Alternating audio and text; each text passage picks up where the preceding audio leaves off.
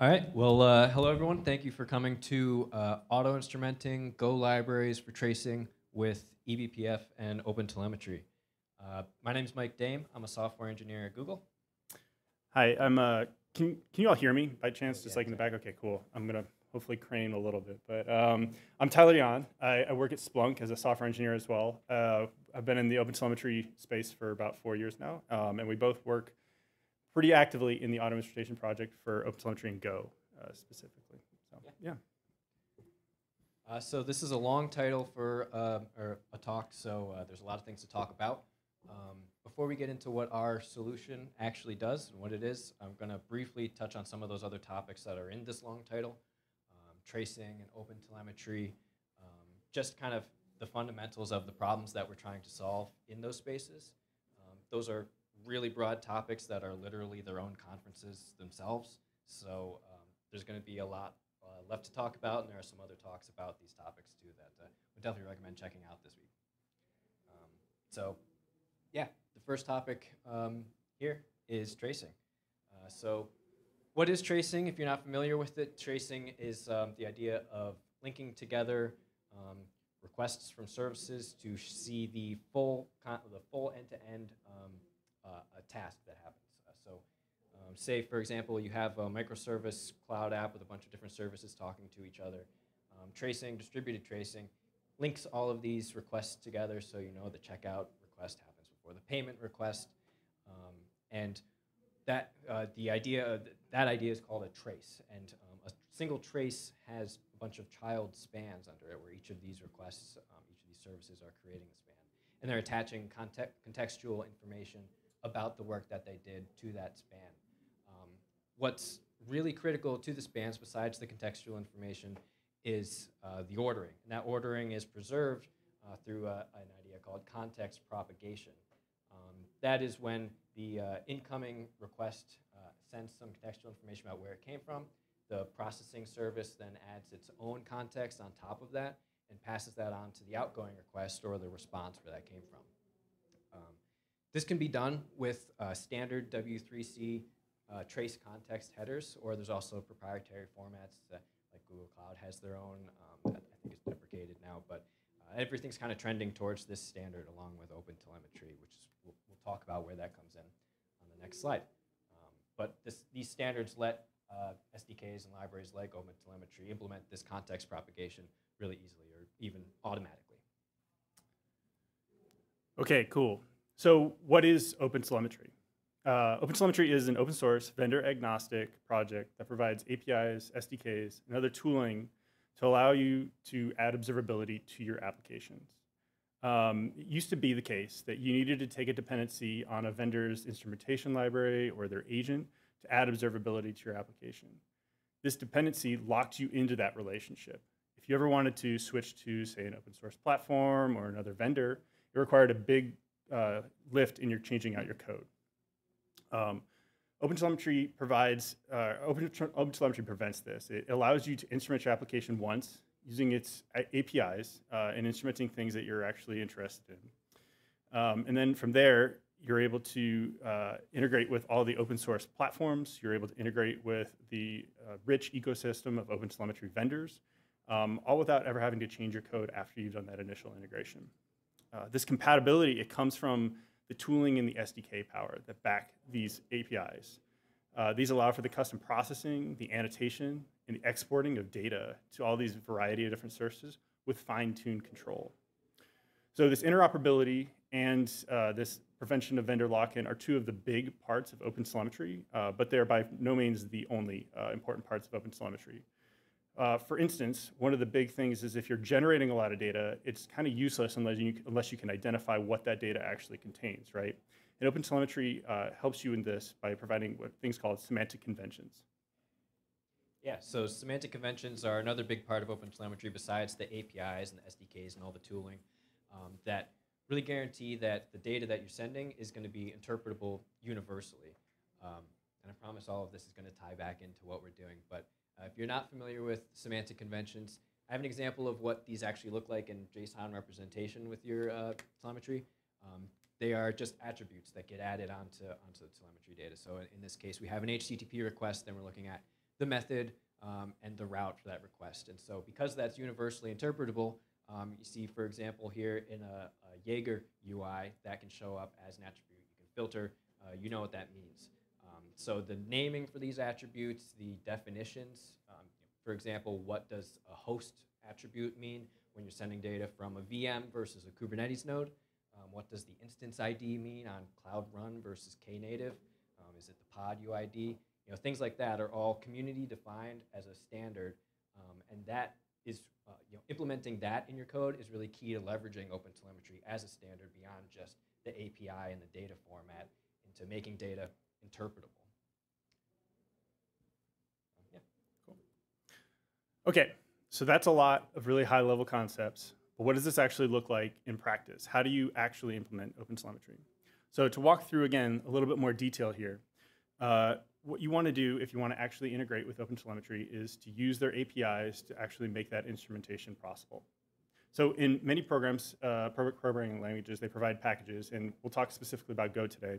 Uh, so in Go, you're going to import these API packages directly. Uh, using these API packages, you're going to create spans uh, from a tracer to encapsulate the code functionality that you find uh, uh, that you need observability into and that you have interest in.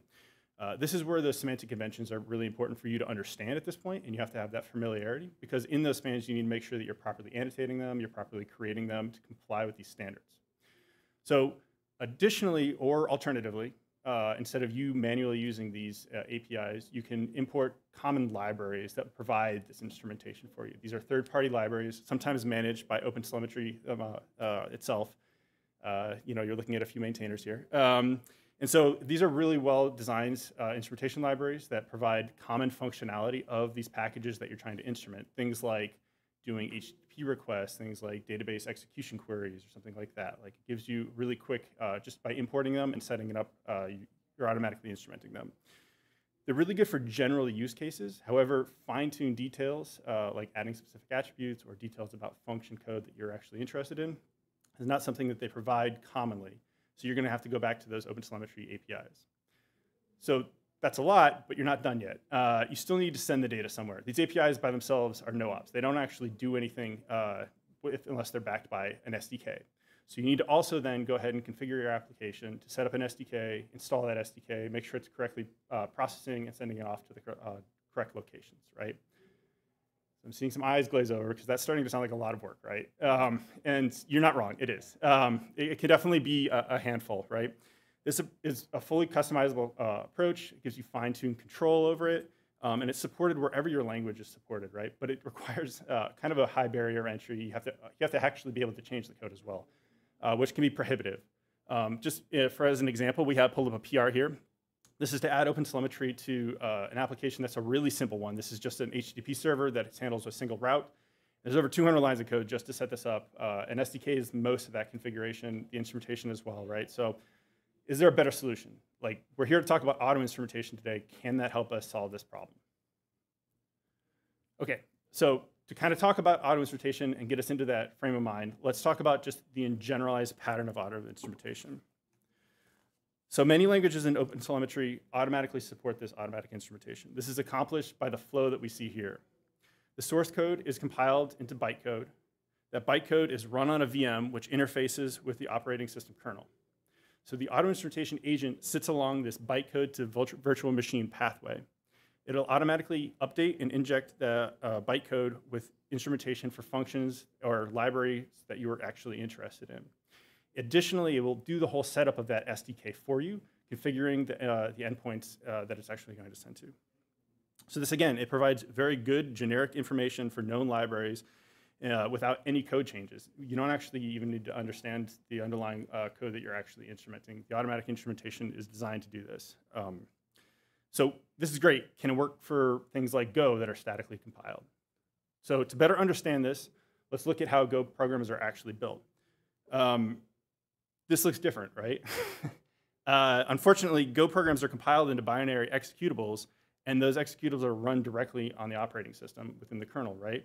There is no bytecode to VM pathway, so how are we going to use auto instrumentation to solve this problem?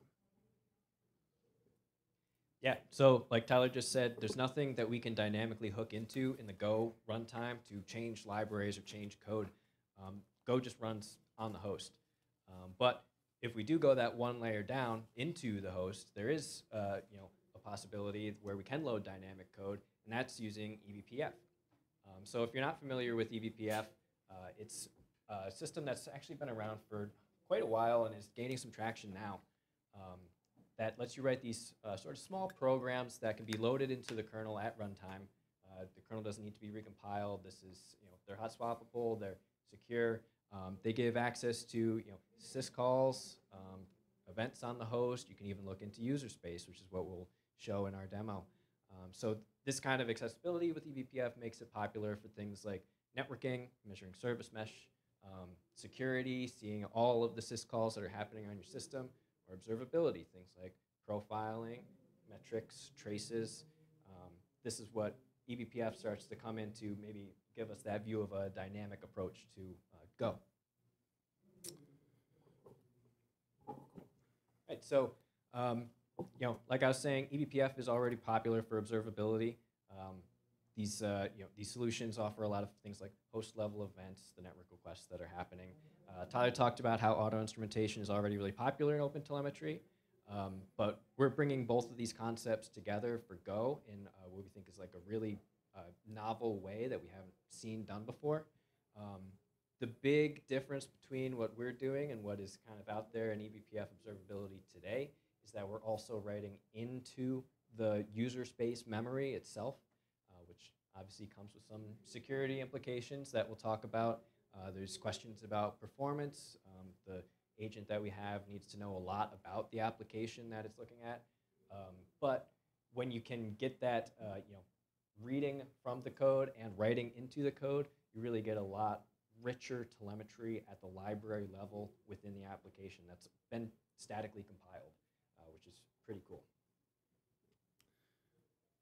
Um, so, why we're here. This is how it works. Uh, what we've built uh, is this Go auto instrumentation agent, which is open source project, just like the rest of OpenTelemetry.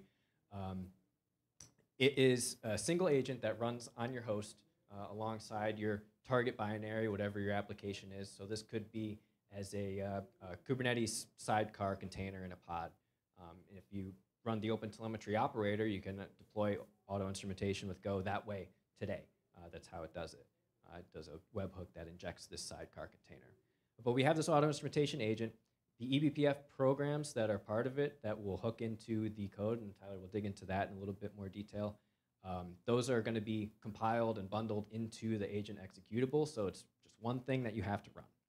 Uh, the agent does three things basically. It has these three controllers in it. Uh, the first thing that it does is analyze your target binary. Uh, that's the analyzer. It will, uh, you, start up the agent, you tell it which binary you want to instrument. It'll find that running process on the host. It'll break down that executable and look into things and find things like what version of Go it was built with, um, what dependencies it imports so that it knows which eBPF programs it needs to load into the system. Uh, passes all that information, those binary details, to the instrumentation manager, which is, as a controller, kind of the heart of the program, um, of the agent. It's going to load the specific eBPF programs into the kernel, which will do the work of hooking into your user's functions. Um, and then it's going to start an event loop to read the events that come out of eBPF. Uh, it's going to process those events and hand them off into the OpenTelemetry controller, which does the work of setting up that OTel SDK, formatting these into OTLP traces, and then exporting them to a collector or an OTLP endpoint that you have running uh, anywhere. So, Okay, cool. So now we have an understanding of how the OpenTelemetry auto instrumentation agent works.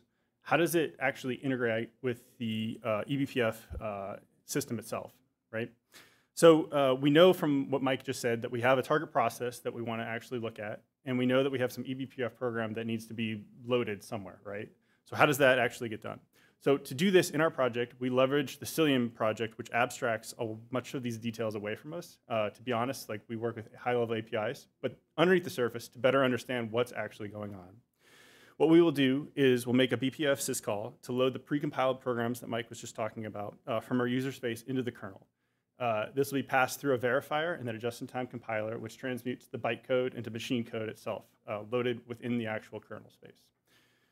On top of that, a uprobe is inserted into the target program with a breakpoint uh, to instrument target libraries that we're interested in. Again, this is things like an HTTP server request or a database query at this point, right? Uh, and this is it. This is now we have a process that's instrumented, uh, our eBPF program's loaded, and we're just, just waiting. Uh, what we're waiting for is for that uprobe to actually be called. Uh, when the uprobe is actually called, what will happen is a uh, interrupt will be triggered. The context will be switched back to our eBPF program. The eBPF program will look at the state of the system, including user memory or the uh, other operational behaviors, and gather the tracing information that's needed for the user to actually gain insights into the uh, instrumentation provided. Those uh, tracing information is then communicated back to the auto instrumentation agent using eBPF maps, and these are the things that Mike was just talking about where the event loop is looking for. This is how it's communicated back. Once the eBPF program is done, the context is switched back to the original program and normal processing uh, continues. So how does this look in our code itself as a good example? Yeah, just to touch a little more on that, the uh, that event loop is happening asynchronously from the business logic. We have the, I'll, I'll talk a little bit more in a couple slides about that, but that context switch happens, the information gets offloaded, and then um, the agent works asynchronously. In our agent's code, um, just to give an example here, I know it's pretty small, um, but this is the kind of um, probe that we're building. It's called a probe object that we have.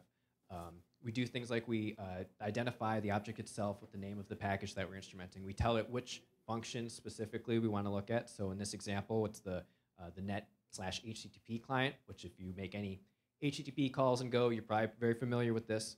Uh, the function that we're interested, interested in is round trip, um, which is a private function. Basically, any you know, call or higher, le higher level library that you use is going to end up calling this. So we look at the very lowest level functions to instrument. Um, and even though it's private, it doesn't matter because we have access to every symbol in the compiled binary. Uh, so we just break it down and we can find the memory address for where that happens. Um, the next things that we need to look at once we know the function are the fields that we want to get out of that. So this is just a snippet of some of the fields because the full thing is very long. Um, but first off, the first thing is going to be the request context. If you're familiar with Go, you know the context object in every request. That's where your headers are going to be. Um, that's where we're going to read the trace context that could that came from an incoming request. It's Where we're going to write our outgoing updated new span that we're creating, um, and then other things like the uh, the method and the scheme.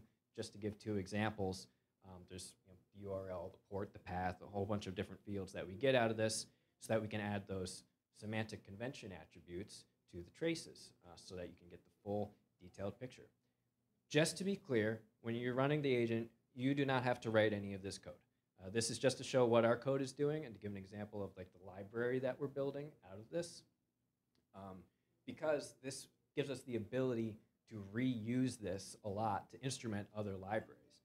And even like what we would like to do someday is expose these libraries, uh, this API package that we have externally so that you can custom, uh, write custom auto instrumentation for your libraries too. Maybe you're a popular library developer or you have a, you know, an internal library at your company that you just want to be able to deploy auto instrumentation um, and get traces out of your own private functions. Um, so this sort of object gets, is what gets passed to the instrumentation manager once the analyzer has broken down the app. Cool. Okay, um, that's a lot, but let's actually see if we can understand how this is actually run in process, maybe understand the value of it a little bit better. Yeah, uh, I apologize. I'm gonna have to look over my shoulder to actually run this demo, so um, may get a little awkward here in just a second. Um, okay, so who here is an SRE? Maybe just start off that way. Maybe show of hands. Uh, cool. So nobody. Uh, so this is going to be totally new to you. Uh, no. Who here has actually debugged something in their in their lifetime? Okay. So this is actually going to sound way more familiar. You're than, all SREs now. Congratulations. Um, okay, perfect. So what we're going to do is we're going to play a little game. Um, we're going to actually start up something because I forgot to run the demo before I actually came in here. Um, and so there we go. I think I'm on the right screen. Yeah. Again, sorry, looking over my shoulder. Um, Cool. Now we should be all set. Okay. Uh, so we're going to assume the role of an SRE. So this is going to be uh, a little bit new and unfamiliar, but uh, what this looks like is you just got a report from a user named Alice. Alice is reporting that she's using your application and it's failing at random intervals, right? So as an SRE on, uh, on call, you're tasked with looking into this. Um, this is a pretty simple application. It's called Roll Dice. What it does is it returns a number between one and six, uh, which is a roll of a dice. Um, and uh, it's comprised of these very two simple services, a user service and a front-end service. Um, you're also pretty new to the team, so let's see if we can get some better information about this. So to start, let's see if we can reproduce the error that Alice is experiencing, which uh, should be, let's see. Okay, so we can see the number updating in the top left. Okay, we've got an internal error. Um, yeah, definitely keep running this. Yeah, a few different internal errors. Okay, so we can reproduce the error. We know it's real, right? Like this is something that we can actually uh, track down. Luckily, we also know that the front-end service has just updated their application with manual instrumentation for OpenTelemetry. This is something that the team went through, and they've just released this code base. So what we can do is we can jump into our Jaeger UI here. Uh, at, our, at our, wow, that's huge. um, so in our Jaeger UI, we should be able to, if you're not familiar, this is a tracing interface. Essentially, it's a place that we can dig through a bunch of our traces. We can search for traces that are coming from the user service. Uh, and hopefully, uh, we are definitely seeing some traces coming from the user service. Uh, there's some red ones which look interesting. That seems like it's going to be relevant. Um, so maybe we can jump down here and look at one of those uh, traces. This has three errors. Okay. Um, all right, so let's take a look at this. What we have here is we have a trace to the front-end service. Uh, it has a tag name error, which uh, seems relevant, and apparently I can't see anything because this thing's huge. Um, but it's to the roll dice service, uh, and it's for the user Alice. So this looks ideal, right? Like, uh, I'm, I'm, telling you, like at this point, you're all going to be SREs uh, when you go back to work. Um, so you're qualified at this point. Um, and so digging into this, we know that this is the actual error that we're interested in. So this is going to, let's see if we can gain some insights into actually what's going on here. So what we can see, just based on this trace, is going through the front-end service, there is a span for the in, uh, ingress of this service. There is another span here that is uh, internally formatting, uh, and then it also looks like there's this, the service itself is making a GET request. And that GET request, let's see if we can dive into the tags. I apologize, I didn't practice this with the screen being massively huge, but um, we're making it work, right? Uh, it looks like if we if you can see, let me see if I can scroll a little bit further uh, higher up. It's making a request to the user service. That user service uh, is on this URL right here, right? And that is the one that's actually returning a 500. So great, now we've isolated that, prob uh, that problem and it's gonna be in the user service. Unfortunately, there's no spans for the user service here, right? Like we don't have any observability into the user service.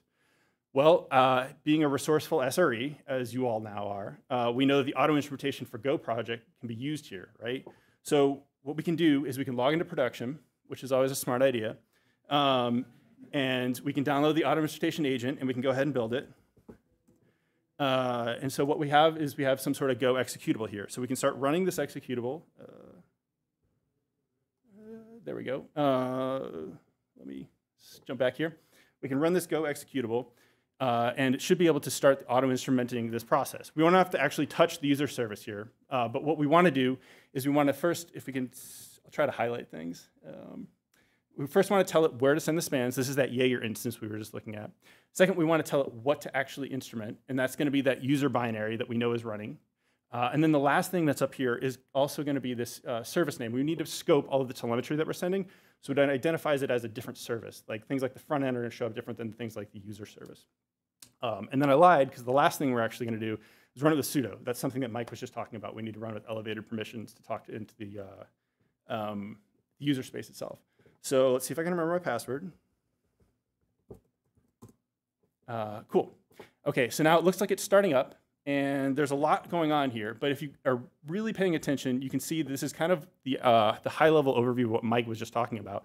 It's going through a process identification. It's finding the particular process in the PID that we were actually, it's actually running on. It's going through and it's in, uh, analyzing that target process, and it's saying like, hey, look, it has a bunch of these dependencies in this process. Do I know any of these?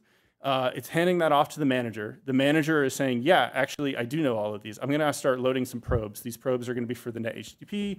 They're also going to be for the database, which uh, is right there, because um, it's the next line down. Uh, okay, so cool. So what does this actually look like then? If we go back to our UI here, and we search, um, we try to regenerate this error. And it looks like we're doing a good job. Looks like it's happening all over the place. We can go back to our Jaeger UI, and we can search for some more spans. Okay, let me see. Uh, what's that? Uh, maybe. Hold on. I'm having a hard time seeing it. Uh, so we got three. So okay, let's let's uh, let's see if we can use uh, some filtering, use some semantic conventions here, right? Uh, we know that there's going to be some sort of error tag associated with our span.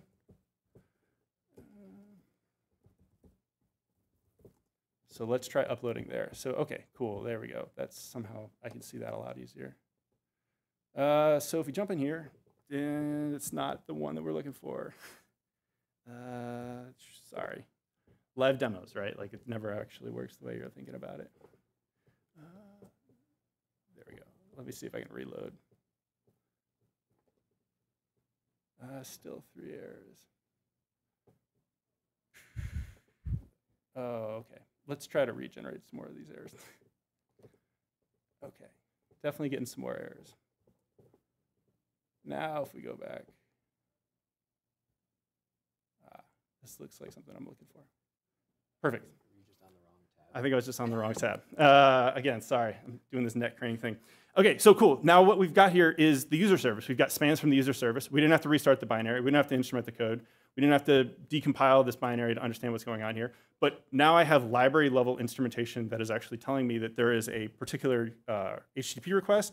Within that HTTP request, there's a database uh, lookup within there, right? And that database lookup, if I look into that, I can see that there's probably there's actually an error here. Uh, if I dig in, uh, it should be an error. Uh, and so if I dig into that, I can actually understand a lot more about the service, which is great. As an SRE, this is your job, right? So what we can do now is we can open up a ticket. We can say, hey, by the way, your user service, you're responding with a bunch of errors. Our, our user Alice is having problems, right? We need you to go figure this out. That's great, except you're really good at your job now. This is how you go the extra mile in the SRE role, right? You say like, hey, I actually know that the auto instrumentation service can integrate with the OpenTelemetry APIs themselves. Let's see if we can add a little bit of observability into this process. So to do that, let's get out of production and we'll go and start up a, a user service locally. Uh, and what we're going to do is we're going to auto, we're going to look into the code base itself. So it seems like there's a server file here. In that server file, we can definitely see that there's some sort of HTTP handler. The HTTP handler, here's the process, uh, and it's particularly looking at this handle alloc process. So if we jump down to that handle alloc function, what we can see in that handling of that request, we're parsing the request, we're opening a database connection, we're then also using that database connection to uh, query the database. And then from there, we're responding with some sort of JSON uh, in the response. Okay, so, uh, man, sorry, we're going, going really slow, apparently. Um, so let's see if we can add some spans here. To do that, we're going to import the APIs that we talked about before. We're going to create a tracer, and we're going to start a span. We're going to end that span. But now we also want to add some annotations so that we can get some insight into what the actual error is. To do that, we're going to set the span status to error, and pass the actual error message to the status. Um, so this should be good. Uh, this is actually pretty impressive because what we've done is we've added 10 lines of code.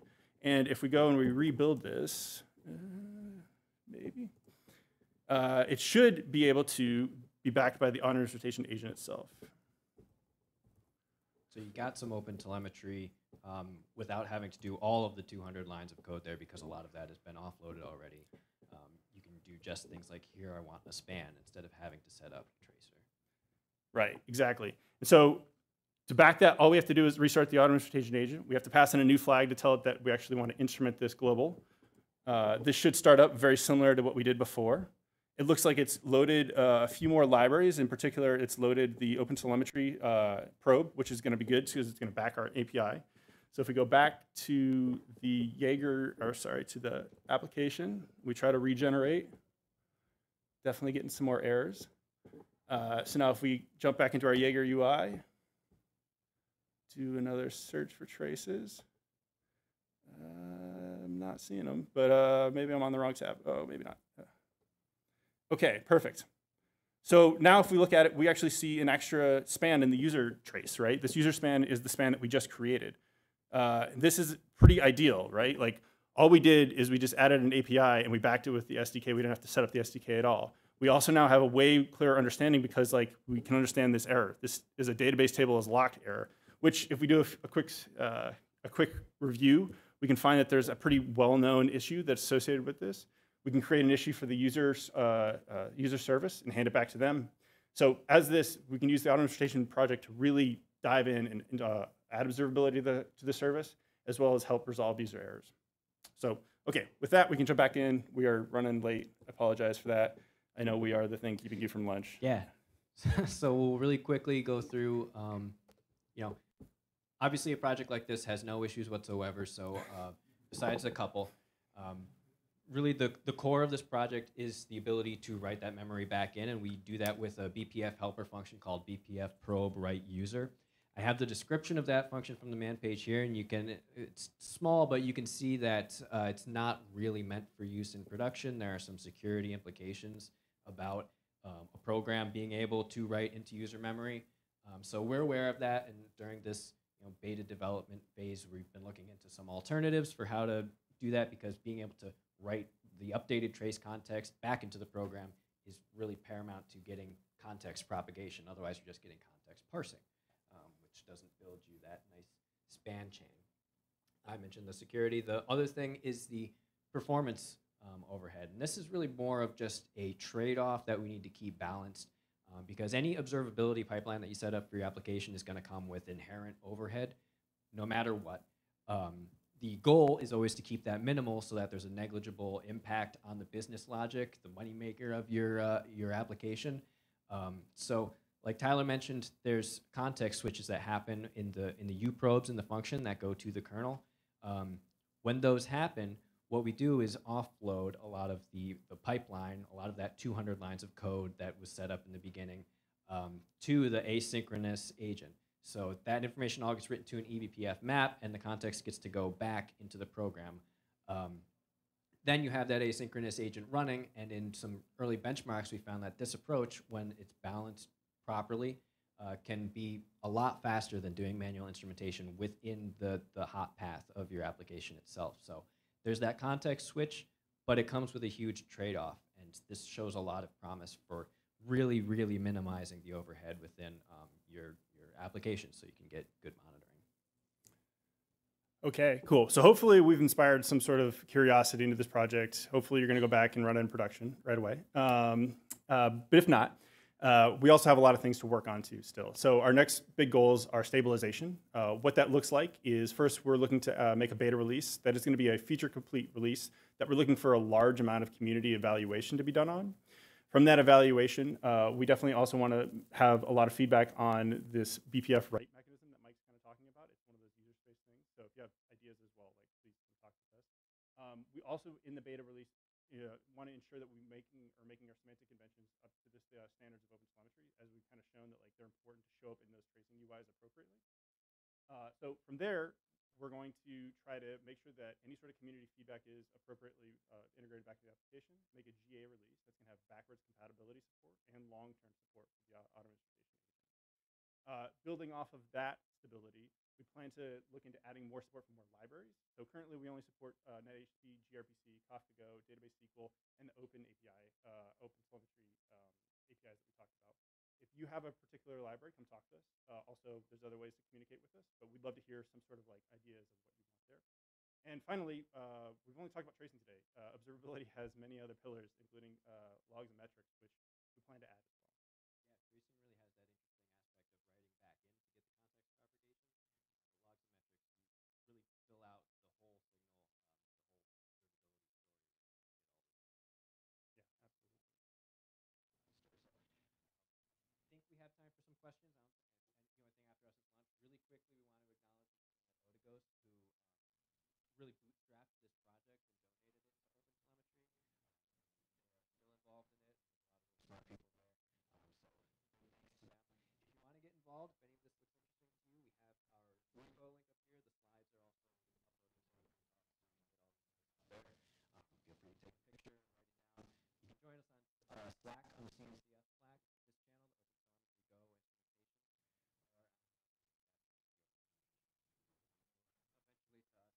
welcoming community. Yeah.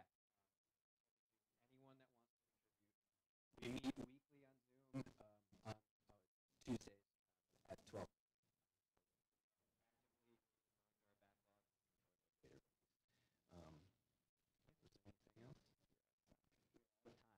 Um, we're out of time, so if are going off to lunch and you're really hungry, I totally get it. Um, please go ahead, take off. And maybe we have time for just like one question. Uh, if you want to stick around, I see a hand. So Otherwise, we'll also be hanging out if people want to talk to us. But yeah,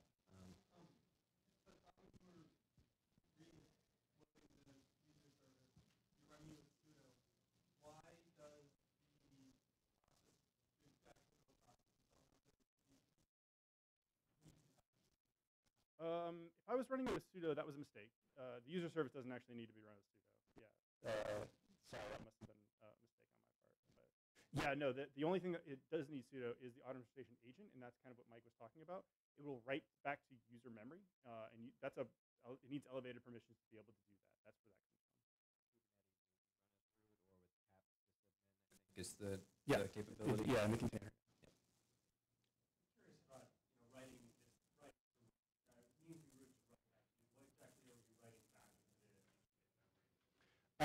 Context. Uh, context is the key here, right? Context is the thing that ties all of the spans back together, right? And so when you have an HTTP request, you need to make sure in those headers or gRPC requests in sort of metadata that you include that context within that request so services that can communicate, they know where they sit in that trace. So it's context, yeah. Yeah, so when you do like http.new request, you pass that CTX object. These eBPF programs that are written in C and then compiled and bundled in, those are actually looking at that variable rewriting the value of it so that when the then when the program continues, that's the new value that gets sent out. Okay. I see one more back there, yeah. No, yep, you.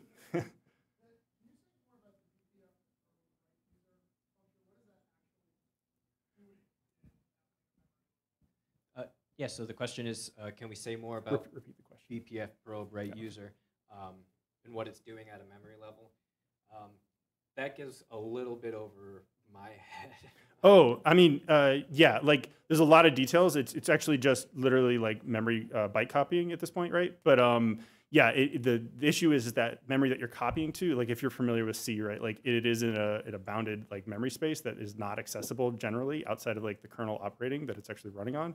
So that's all it's doing is it specifically says like, hey, by the way, like normally what you would do is copy to memory within your domain, right, or within your range, right? We're going to do something that's a little bit like risky here. Um, you know, it's essentially like grabbing a beer and calling yellow. It's like it's like we're going to go back into user space and write some memory, which like you need to. Like, this is actually one of those good use cases where that actually is is helpful, right? But it, you know, as most people can understand, like that could be dangerous as well. So you want to be very careful when you're doing these kinds of things. Oh, sorry. No, this again is back to the context propagation. So this is essentially into the HTTP header. Uh, we want to know, hey, we know have this header over here. We know the, the memory space of that is. I want to update this header value. Yeah. Yep. And because of those implications, in more in more recent versions of the kernel, this helper function has actually been um, put into a lockdown state where it can be locked down and not available.